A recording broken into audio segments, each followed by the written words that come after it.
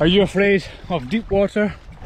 Well, right now, below me is 310 metres of cold, dark water.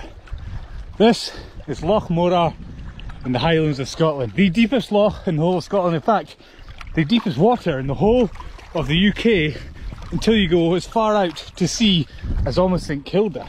But this is fresh water. How come it's so deep?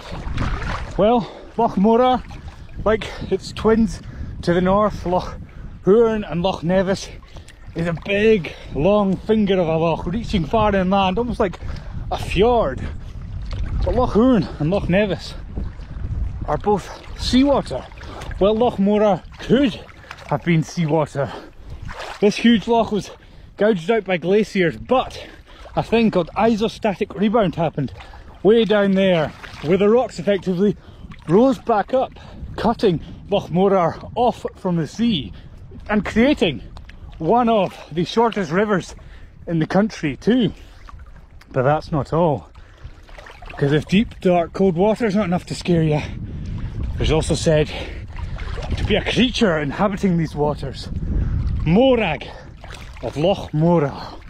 Ivorag, if you were to call her. Ivorag! Ivorag! She's not around today.